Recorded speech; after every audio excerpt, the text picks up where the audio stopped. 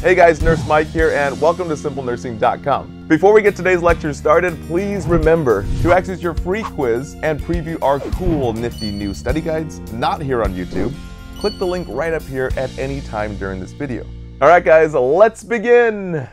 Okay, once the DVT clot is resolved, or to prevent a DVT like after surgery, specifically knee or hip replacement surgery, the patient's usually always placed on both long-acting and short-acting anticoagulant like warfarin and heparin at the same time. But guys, this takes about two or three days to reach full effect. So we also give a rapid acting anticoagulant to work right now during the hospital stay. This is our heparin or enoxaparin, which our brand name is Lovenox. These guys act immediately to thin the blood and can only be injected into the patient, never taken orally. And lastly, patients can also go home on antiplatelet medications like aspirin, but usually low dose baby aspirin, like 81 milligrams per day. And before I forget, Plavix is another antiplatelet commonly given. Guys, these help keep platelets from clumping together and forming a clot. All right, guys, last but not least, I always like to give patient education tips, especially for the test, when you guys are giving blood thinners or something that doesn't make the blood clot. So guys, pay attention.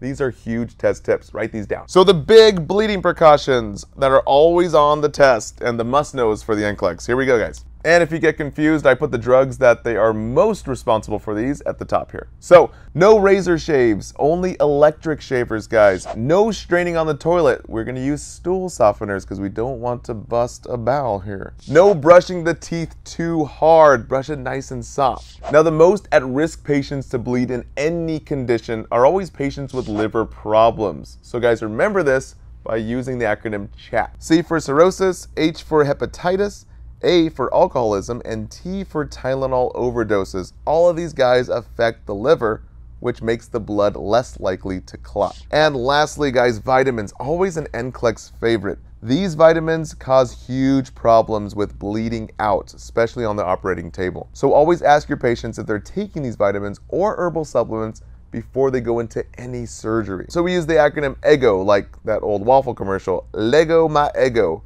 Always let these go before surgery. E is for vitamin E in high doses, as well as echinacea. G is for ginkgo biloba, garlic, and ginseng.